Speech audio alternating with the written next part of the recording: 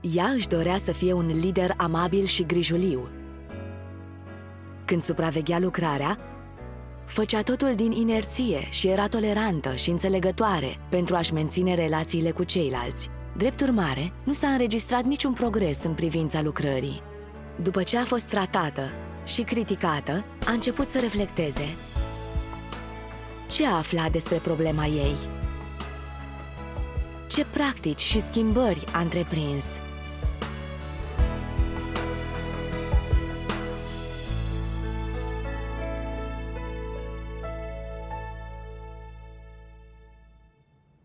În luna mai a anului trecut am preluat udarea nou-veniților. Înainte credeam că aceasta era o sarcină relativ ușoară. Trebuia doar să ai părtășie cu ei în privința viziunilor și să vină regulat la întruniri. Dar odată ce am început, mi-am dat seama că udarea nou-veniților presupune multă muncă. În afară de părtășia adevărului pentru a-i ajuta să meargă pe adevărata cale, a trebuit să cultiv lideri și tot felul de talente din rândurile lor, ca să poată lucra independent. Hmm. Liderul meu m-a îndemnat să supraveghez și să țin pasul cu lucrarea udătorilor, căci de îndată ce amânam sau aveam probleme, avea să influențeze progresul general al lucrării. Am înțeles importanța supravegherii și am început să verific progresul celorlalți. Mm-hmm. Când am început prima oară să programez întâlniri cu ei, trecea mult timp și cu toate acestea niciunul nu răspundea mesajelor. Și chiar dacă răspundeau, tot amânau întâlnirile. Odată am aranjat să mă întâlnesc cu o soră pentru a discuta despre un proiect. Inițial a reprogramat de dimineață pentru după amiază și apoi a amânat din nou pe seară. Hmm. După două zile tot nu ne văzusem. Oh. M-am gândit Oare mă evită intenționat? Pentru că mă disprețuiesc și consideră că nu le pot rezolva problemele? Oricât de ocupați sunt, chiar nu au timp să discute cu mine? Cum să mai fac datoria în acest mod? Ulterior, am aranjat în cele din urmă câteva întruniri. Dar când i-am chestionat referitor la progresul lor, unii au dat răspunsuri cam țăfnoase și au fost puțin refractari. M-am gândit, dacă în mod constant le verific lucrarea, oare vor crede că încerc să le îngreunez situația și că nu țin cont de ei? Dacă mă interesez de progresul lor chiar după atribuirea lucrării, oare atunci vor crede că îi tratez ca pe niște mașinării și că îmi lipsește căldura umană? Gândindu-mă la asta, nu am mai fost în stare să continui. Cu altă ocazie, am văzut că majoritatea celor udați de o soră nu participau la întruniri. Am întrebat-o dacă le rezolvase problemele acestora. Mm-hmm. Sora a răspuns. Toți nou veniți au spus că sunt ocupați, nu îi pot forța. Mi-am făcut griji că sora va crede că nu țin cont de ea și de problemele ei. Așa că n-am forțat nota. Asta nu-i tot. Unii dintre ei au avut o atitudine negativă după ce am discutat de lucrarea lor, simțind că, deși lucrau până noaptea târziu, încă existau atât de multe probleme. Nu făcuseră niciun progres și nu corespundeau cerințelor. Voiam să evidențiez această problemă. Dacă se eschivau de la îndatoririle lor, însemna că nu-și înfruntau problemele și nu acceptau adevărul. Așa este. Dar m-am temut și că vor spune că nu eram înțelegătoare și că doar îi mustram. Așa că n-am mai spus nimic. Dacă te gândești mereu la modul în care te percep ceilalți și îți cultivi imaginea, e dificil să-ți faci treaba. Corect. Apoi am devenit și mai precaută și nu eram dornică să verific lucrarea. Mi-am spus, sunt credincioși de mult, vor lua inițiativa în îndatoriri. Unii sunt atât de ocupați că nici măcar nu au timp pentru devoționale, nu se vor delăsa. Tot ce trebuie să fac e să comunic principiile lucrării și să deleg sarcini. Nu ar trebui să le suflu în ceafă, altfel se vor simți constrânși. După aceea, am încetat să supraveghez amănunțit lucrările și doar mi-am format o idee la finalul fiecarei luni.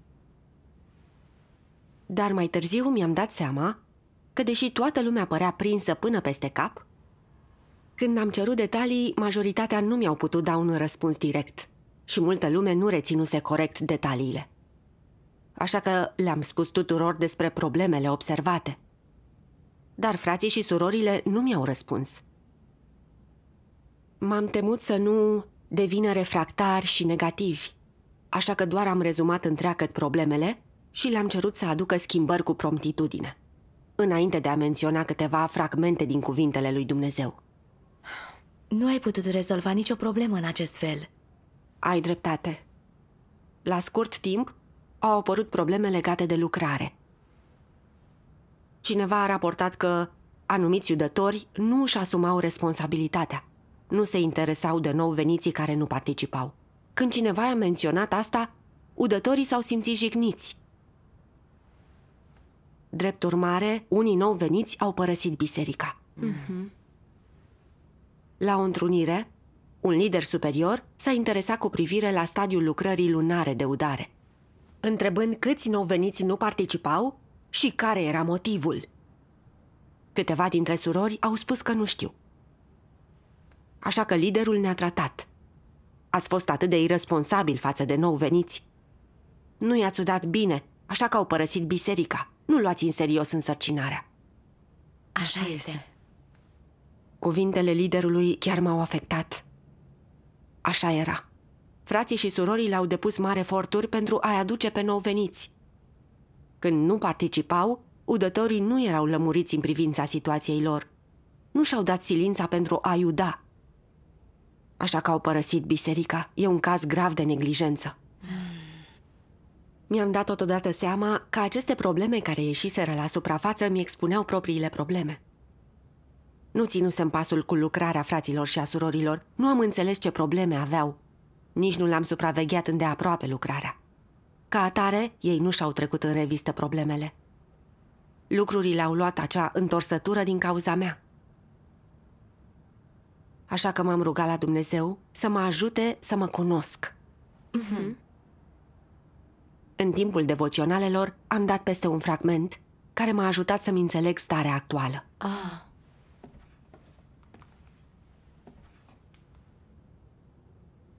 Întrucât conducătorii falși nu știu stadiul lucrării, sunt incapabili să identifice prompt, cu atât mai puțin să rezolve, problemele care apar în lucrare, ceea ce duce adesea la întârzieri repetate.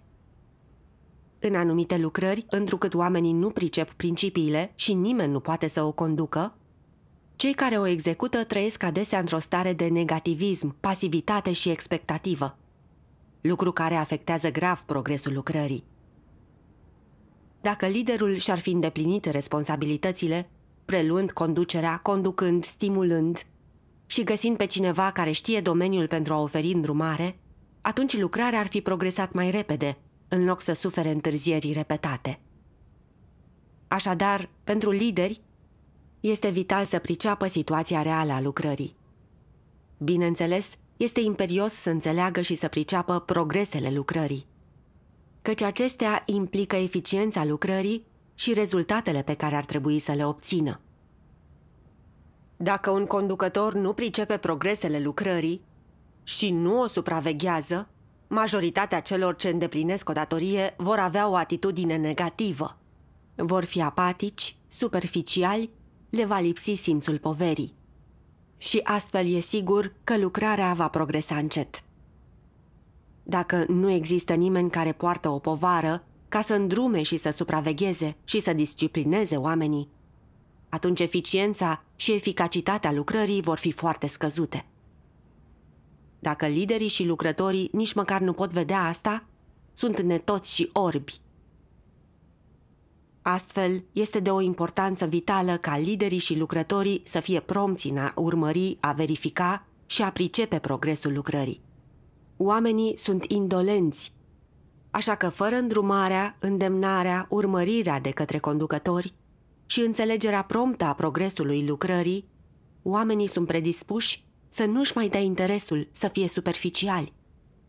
Dacă aceasta e atitudinea lor față de lucrare, progresul acestei lucrări va fi grav afectat, la fel ca eficacitatea sa. Date fiind aceste circumstanțe, conducătorii calificați ar trebui să țină prompt cont de fiecare element și să fie informați despre situația personalului și a lucrării. Categoric nu ar trebui să fie ca liderii falși.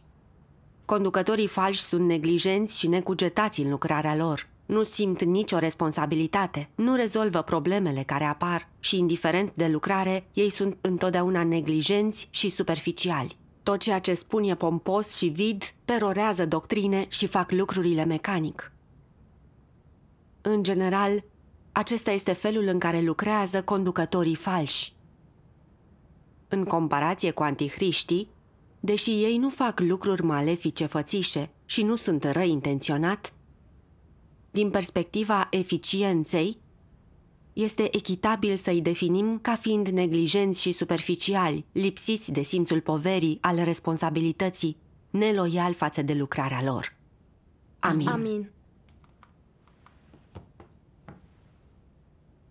Asta arată modul în care falșii lideri își fac lucrarea cu superficialitate, nesupraveghind lucrarea și neînțelegând practic progresul lucrării.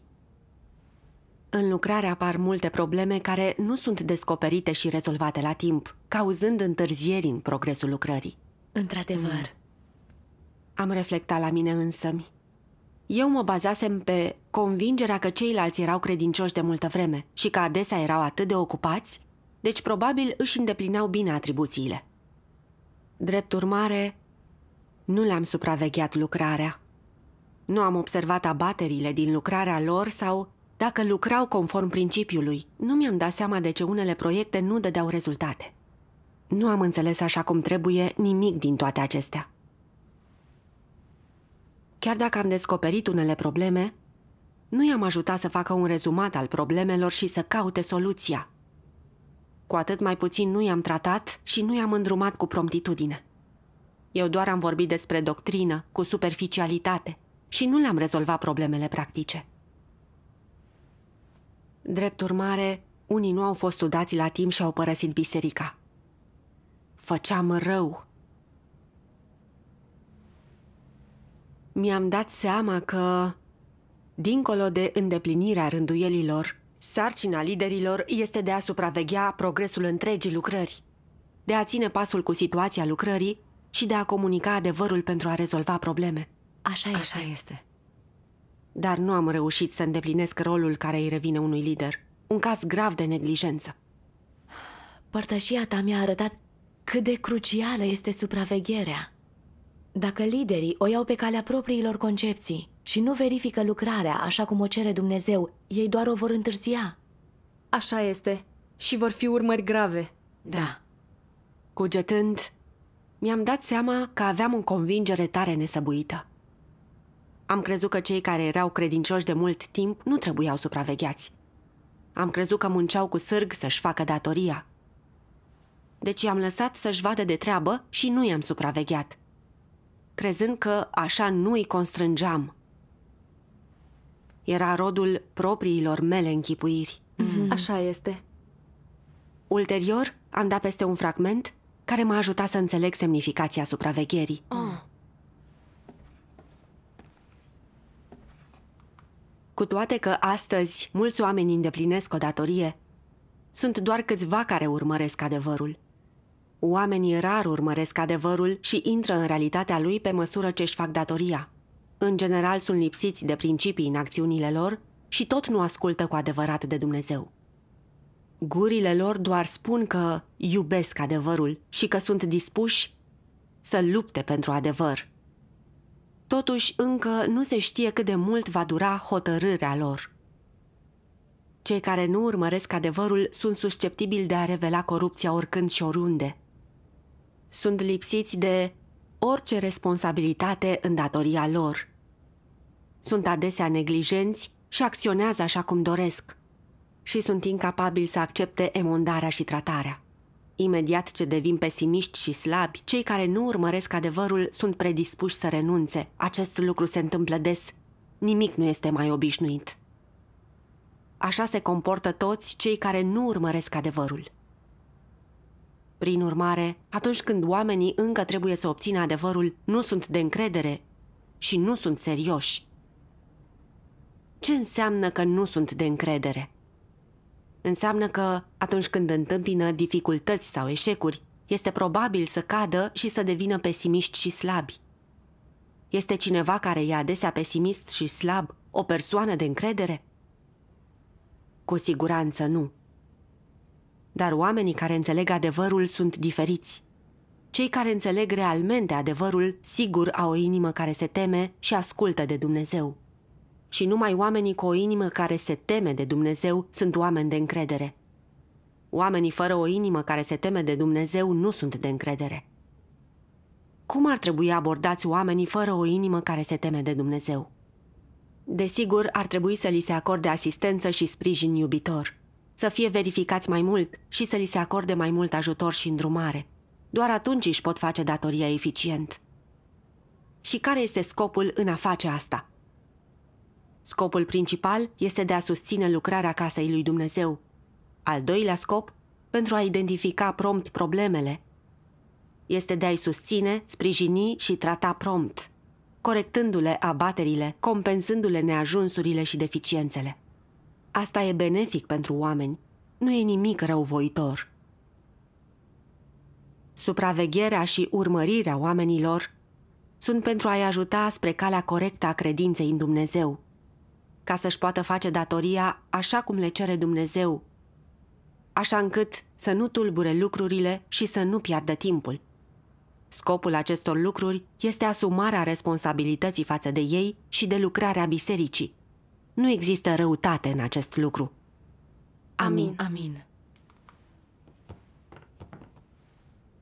Cuvintele lui Dumnezeu sunt foarte limpezi.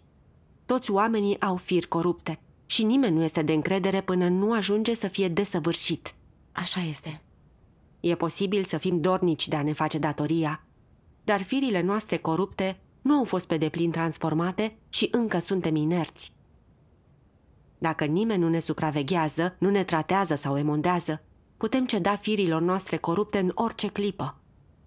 Și putem acționa superficial sau perturbăm fără să vrem, prejudiciind lucrarea bisericii. Așa este. Așa este. Lucrarea e supravegheată pentru a evalua progresul ei, pentru a identifica abateri din lucrare și pentru a avea părtășie ca să le rezolvi, astfel încât lucrarea bisericii să nu fie afectată. Supravegherea nu înseamnă să le găsești oamenilor vină, ci să fii responsabil și devotat datoriei tale, asumându-ți răspunderea pentru pătrunderea în viața oamenilor, ținând cont de voia lui Dumnezeu și sprijinind lucrarea bisericii. Într-adevăr. Dacă frații și surorile au probleme în lucrarea lor și cineva se face că nu vede și nu are părtășie pentru a-i ajuta sau a-i trata și emonda, aceasta constituie o gravă neglijență, o lipsă de responsabilitate. Într-adevăr. Stă în natura noastră să preferăm distracția și să fim superficiali și nepăsători. Dacă nu-i nimeni să ne supravegheze, nu vom putea duce lucrarea la bun sfârșit. Ne vom abate de la drum fără să ne dăm seama. Corect. Nu constrângi pe nimeni supraveghându-l și cu atât mai puțin îi îngreunezi situația. E vorba despre a identifica probleme și a corecta rapid abateri, pentru a-i ajuta și pe alții să-și facă datoria. Asta înseamnă să fii răspunzător de lucrare. Așa este. Cum ai dobândit pătrundere după aceea? Ulterior, am pus în practică cuvintele lui Dumnezeu. Împreună cu sora mea, am sintetizat problemele curente și apoi, după ce am clasificat problemele, i-am chemat pe toți la părtășie. Prin părtășie, și-au dat seama că au avut atitudinea greșită în îndatoririle lor și au ajuns să înțeleagă importanța supravegherii. După aceea, atitudinea și starea tuturor s-a îmbunătățit puțin. Și am încercat în mod conștient să țin mai bine pasul cu stadiul lucrării, să le acord o supraveghere mai atentă. I-am ajutat și în ce privește dificultățile și imperfecțiunile lor. După o perioadă de timp, am descoperit că aveam rezultate mai bune și că toți făcuseră progrese. Slavă lui Dumnezeu! E un mod bun de a practica. Da, Corect. Ulterior, am continuat să cuget. De ce nu acord importanță supravegherii? Ce alte firi corupte sugerează acest fapt? Mm. În căutarea mea, am dat peste un fragment.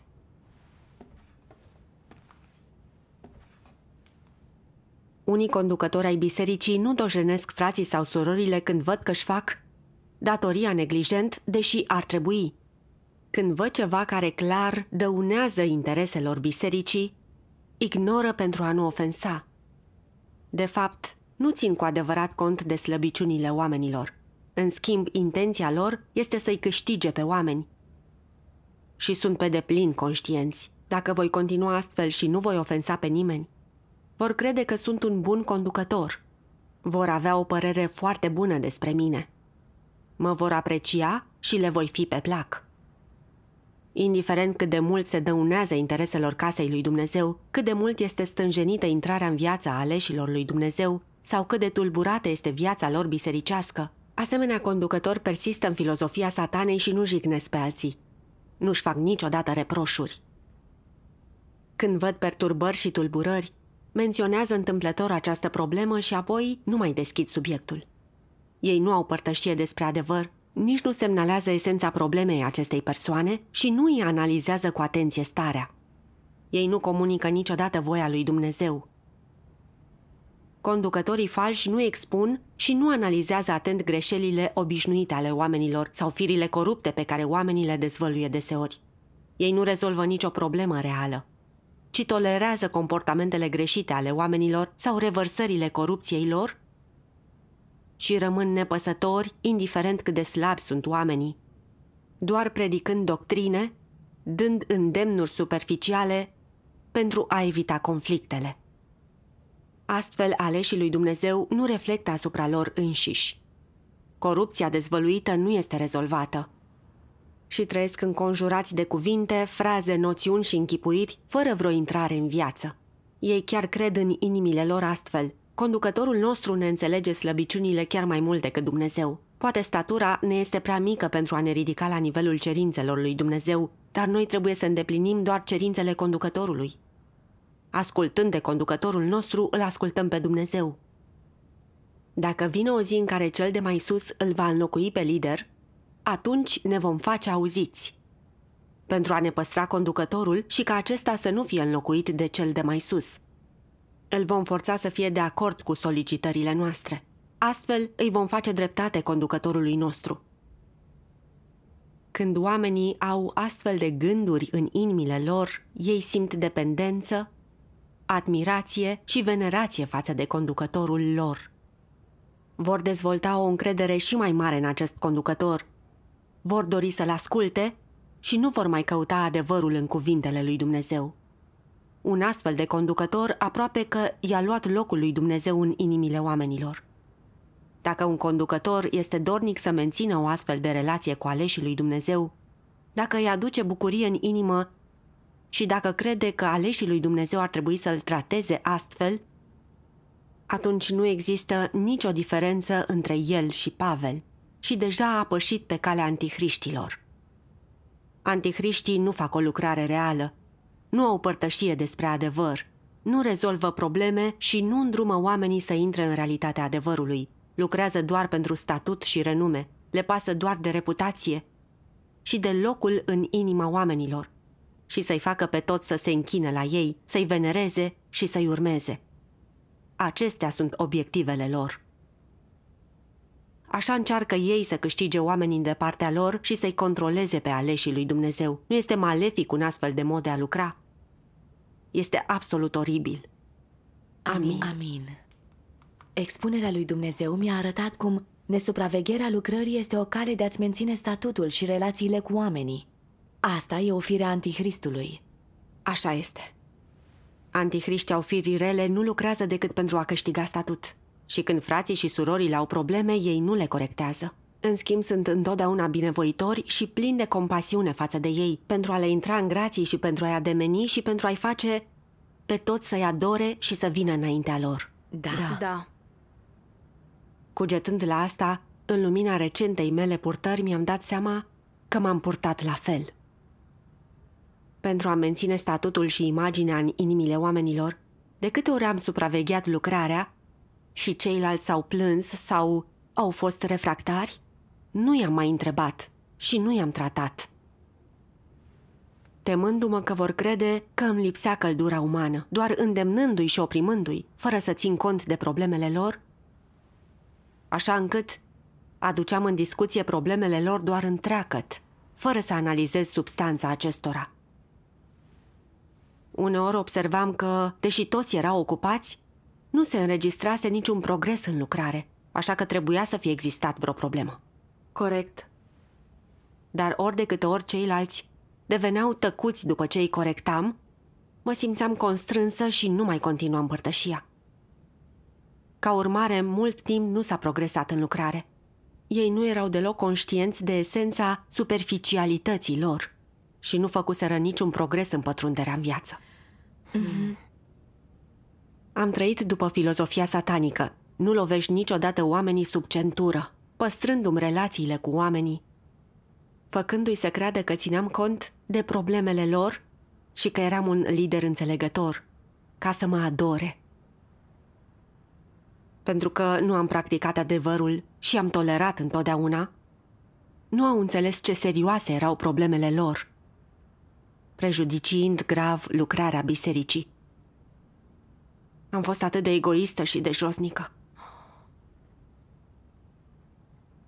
Casa lui Dumnezeu le cere tuturor să supravegheze progresul lucrării, să protejeze biserica, să identifice rapid problemele și să facă lucrare practică. Eu însă doar mi-am menținut statutul dând la o parte interesele bisericii îngăduindu-le celorlalți să trăiască după propriile firi corupte, fiind nepăsătoare și întârzind lucrarea. Nu am urmat intențiile lui Dumnezeu. Cugetând și dându-mi seama de asta, mi-a părut rău. Așa că m-am rugat la Dumnezeu, dorind să mă pocăiesc. Amin, amin.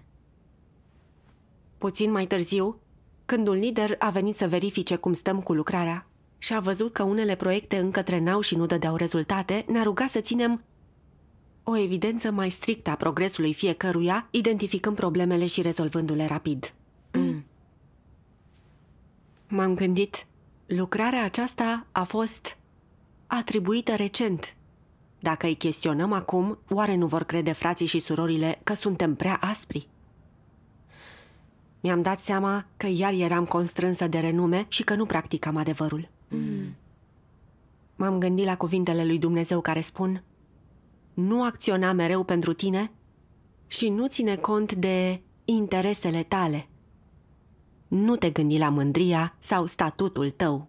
Gândește-te la interesele casei lui Dumnezeu și dă-le prioritate. Ține seama de voia lui. Mai întâi cântărește dacă ai fost impur în datoria ta, dacă ai fost loial, ți-ai îndeplinit responsabilitățile și dacă ai dat totul. Precum și dacă ai chipzuit sau nu din inimă la datoria ta și la lucrarea bisericii. Trebuie să iei în considerare aceste lucruri. Înțelege-le și îți va fi mai ușor să-ți îndeplinești datoria. Amin. Mi-am dat seama că cei care țin cont de voia lui Dumnezeu se vor lepăda de propriile interese, punând pe primul loc biserica, ei cumpănesc cum să fie de folos lucrării bisericii și pătrunderi în viața celorlalți. Doar așa respecti voia lui Dumnezeu. Așa este. Dându-mi seama de asta, a doua zi m-am interesat de progresul lucrării tuturor. Hmm. Și am descoperit că erau asaltați de tot felul de probleme. Așa că am avut părtășie referitor la principii și am făcut planuri pentru a rezolva problemele. Slavă lui Dumnezeu! Două săptămâni mai târziu, deja obțineam rezultate mai bune. Slavă lui Dumnezeu! E minunat! Datorită experiențelor trăite în aceste luni, am înțeles importanța supravegherii. Da. Sunt dispusă să accept scrutarea lui Dumnezeu și să-mi fac bine datoria. Slavă lui Dumnezeu! Să acceptăm supravegherea liderilor.